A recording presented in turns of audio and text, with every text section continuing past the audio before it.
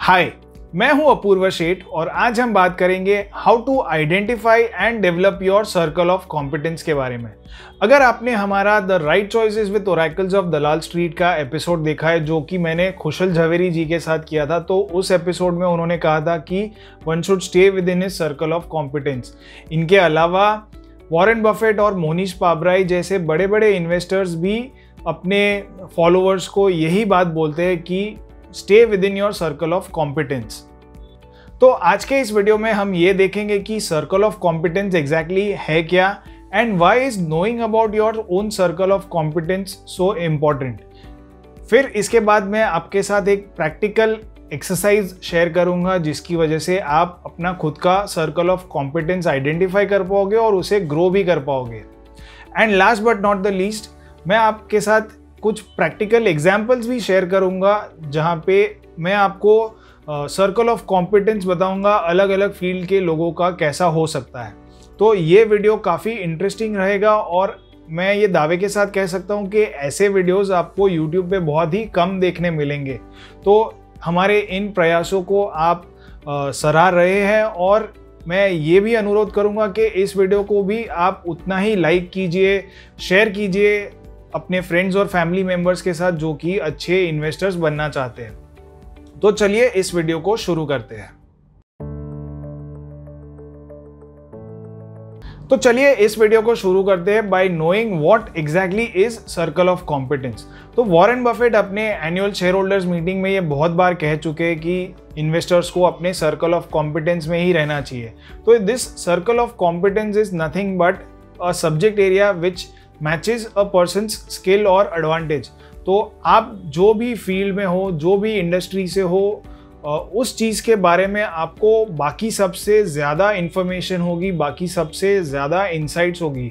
तो वो particular field industry या सेक्टर आपके लिए सर्कल ऑफ़ कॉम्पिटेंस बन जाएगा। तो टेक फॉर एग्जांपल अगर आप एक बैंक में नौकरी कर रहे हो तो आपके लिए बैंक बैंक्स एक सर्कल ऑफ़ कॉम्पिटेंस वाली इंडस्ट्री हो जाएगी।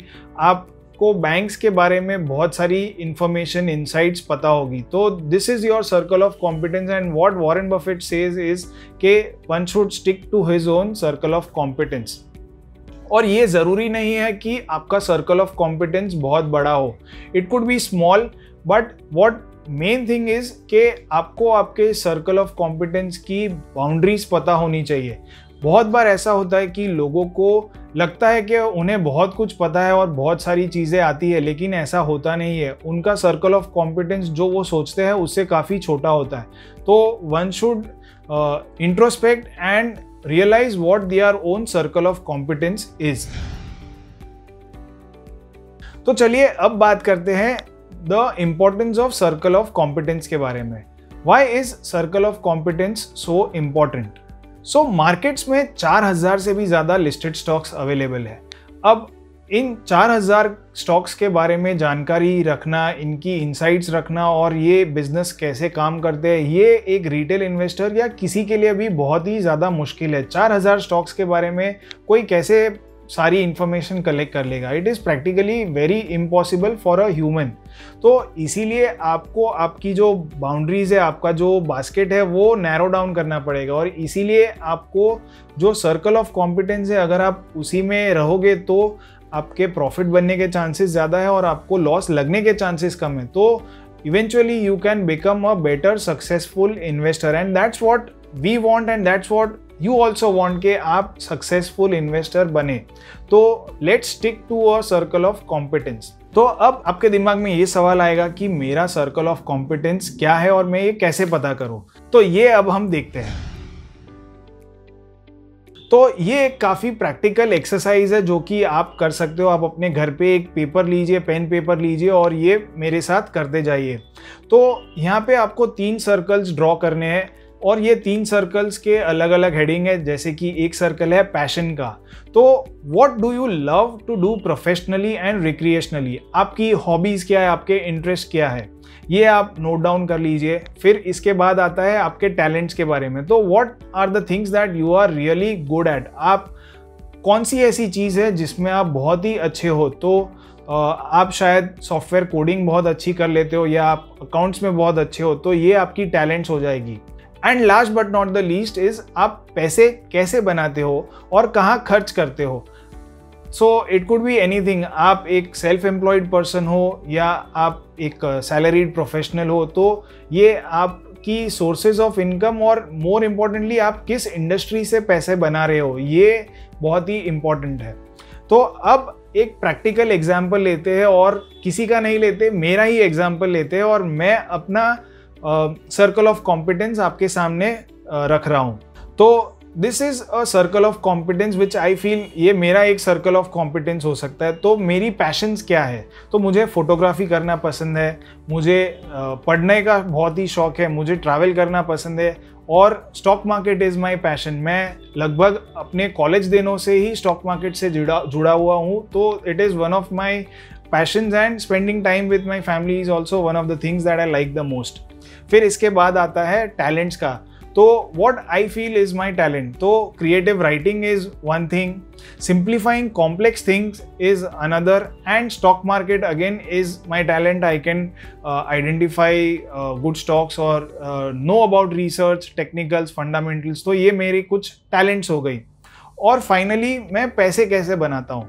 तो और उसे कहाँ खर्च करता हूँ? तो stock market is the source of income so I am related I am working with Samco Securities which is one of the most popular and award winning brokers तो स्टॉक मार्केट से सैमको सिक्योरिटीज स्टॉक मार्केट से पैसे बना रहा है, उनके customer से बना रहा है, और मैं इनडायरेक्टली उसी से कमा रहा हूँ। तो that is my source of income and what am I spending on तो books groceries clothes these are the things that I spend my money on तो अब इन तीनों चीज़ों का जो कॉम्बिनेशन है that will be my sweet spot और वो चीज़ क्या है?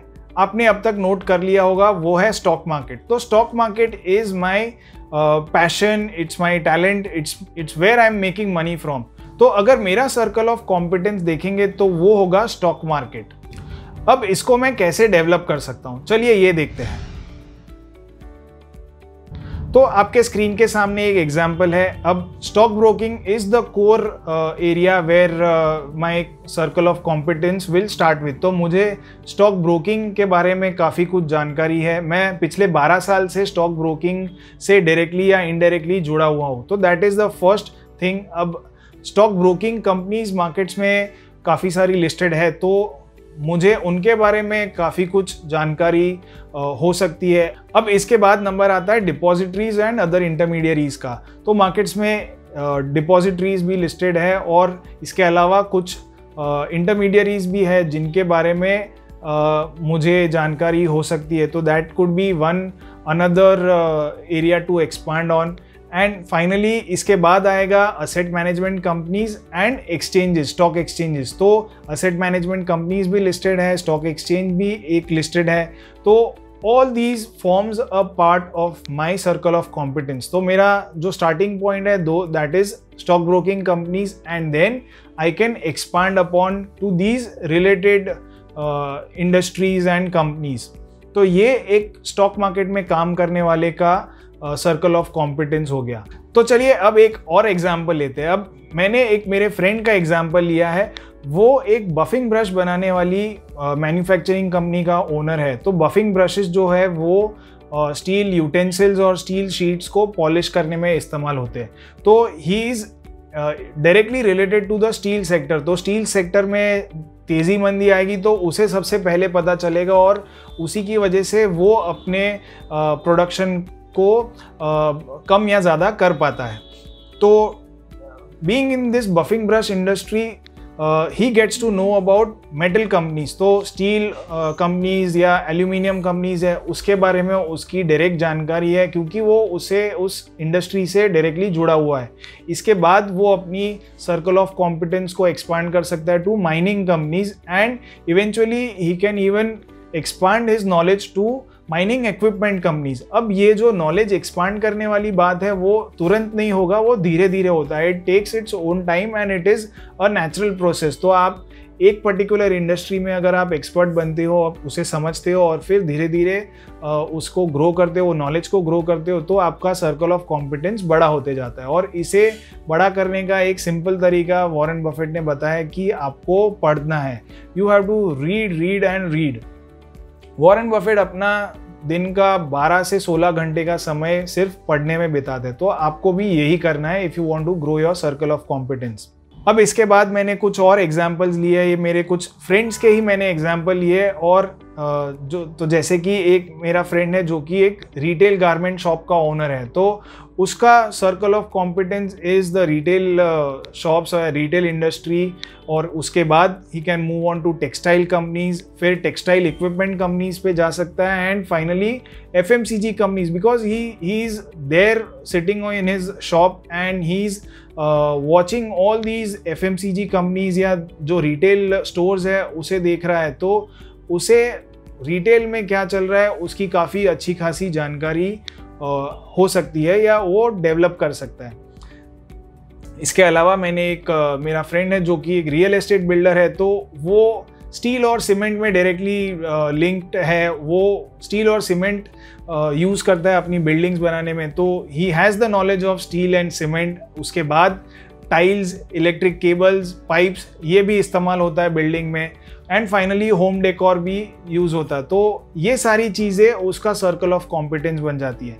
ठीक इसी तरह एक टूर ऑपरेटर है जो कि मेरा फ्रेंड है। तो टूर ऑपरेटर्स का सर्कल ऑफ़ कॉम्पिटेंस क्या होगा तो tourist companies tourism companies which are listed on the stock exchanges इसके बाद होटल कंपनीज़ आएगी। होटल कंपनीज़ के बाद एविएशन एंड रेलवे कंपनीज़ आ सकती है एंड फिर फाइनली लॉजिस्टिक्स कंपनीज़ आ सकती है because ultimately they are related very much tied tied closely तो एविएशन और रेलवेज में आप डीजल या जो एनर्जी कंज्यूम होती है and you are transporting people from one place to another and in in case of logistic companies you are again using the same resources to transport goods from one place to another तो ये काफ़ी कुछ linked companies uh, है। फिर let's take an example of a home maker तो home maker बहुत सारे products use करती है जैसे कि personal care products package foods product cleaning products तो ये uh, काफ़ी अच्छी खासी इंडस्ट्री बड़ी इंडस्ट्री है जो कि आपको uh, घर पे ही आप बहुत सारे प्रोडक्ट्स यूज़ करते हो और उसकी जानकारी आपको मिल जाती है।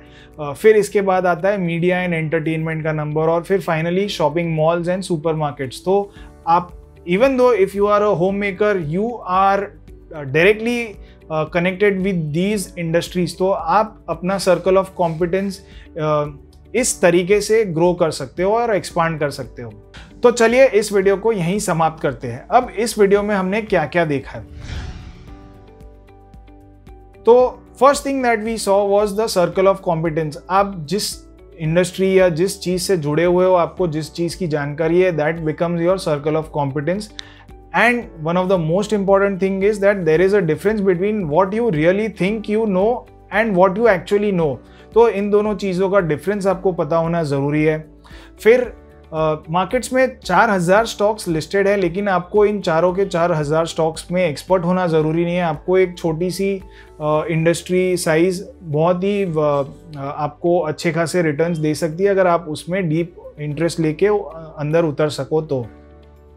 फिर you have to find an overlap between your talent passion and money so where you are making your money and spending your money from तो इन तीनों चीज़ों का जो ओवरलैप होगा, वो आपका सर्कल ऑफ़ कॉम्पिटेंस डिफाइन करेगा। और फिर धीरे धीरे आप इस सर्कल ऑफ़ कॉम्पिटेंस को एक तो मैप कर लीजिए और फिर उसे एक्सपांड की, करते जाइए।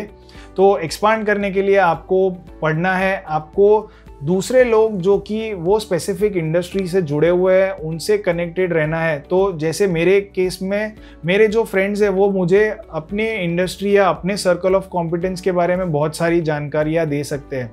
तो मैंने जिन फ्रेंड्स के एग्ज़ाम्पल लिए, वो एक्चुअली बहुत ही अंदर उस फ़ील्ड में उतरे हुए और मुझे भी उनसे काफ़ी कुछ जानकारियाँ प्राप्त हो सकती है। तो ठीक इसी तरह आप भी अपने फ्रेंड्स या रिश्तेदार से उनके सर्कल ऑफ़ कॉम्पिटेंस के बारे में जानकारियाँ ले सकते हो और अपना नॉलेज बढ़ा सकते हो। सो so, इसी तरीके से आप आ, अपने आप को अपग्रेड कीजिए आप पढ़िए और अपना सर्कल ऑफ़ कॉम्पिटेंस डेवलप कीजिए। So that's all in today's video मुझे आशा है कि आपको ये वीडियो पसंद आया रहेगा। अगर आपको ये वीडियो पसंद आया तो इसे लाइक कीजिए शेयर कीजिए आपके फ्रेंड्स और फैमिली मेंबर्स के साथ और हमारी चैनल को भी सब्सक्राइब कीजिए। Thank you